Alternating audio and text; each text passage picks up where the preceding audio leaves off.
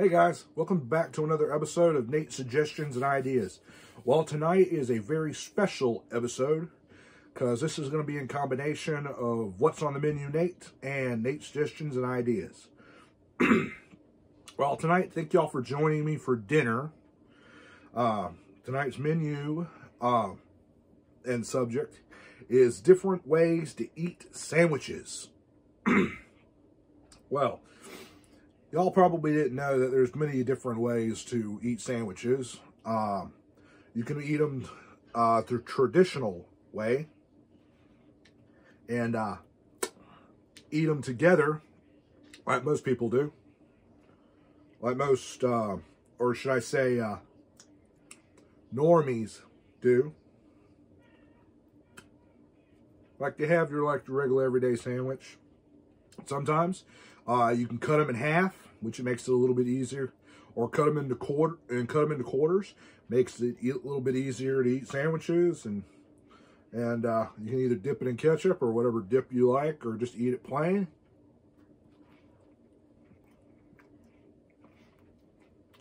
But that's just uh, one way I eat it.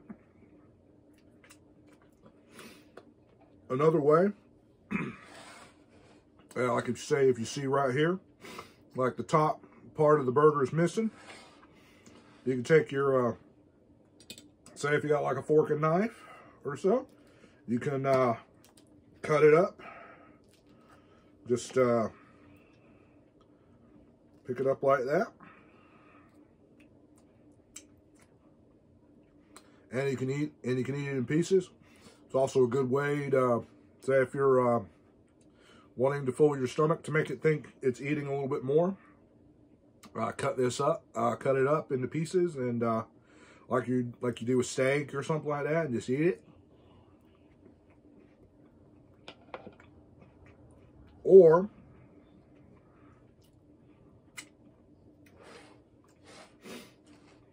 if you're a messy eater, like uh, sometimes you can do it the way I like to do it. And I've done this quite a bit. About my whole life because everybody thought it was weird. This way. You can also take your sandwich apart and eat it piece by piece. Yeah, just taking just like a good bit of this bread that has a bit of tomato and uh, a bit of lettuce on it and pickle and whatever went up.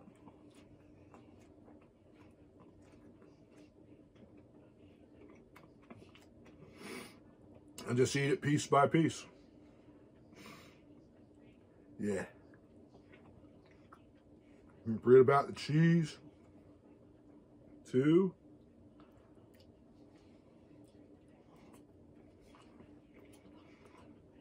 Mmm. Don't forget about the bacon. You can also eat the bacon in pieces too. Especially how, especially if it comes in pieces, individually. Now, if the cheese is melting on the burger, sometimes it can be a little messy. And if some of y'all are a bit sanded, are one of the one of those people that's sanitary and stuff, and it's kind of think and and how it kind of gross to uh, lick your fingers. Make sure your fingers are clean before you before you uh, lick them.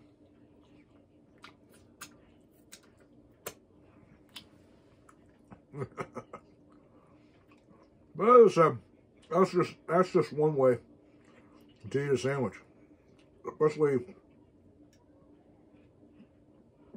if it's either a burger or a, a ham sandwich or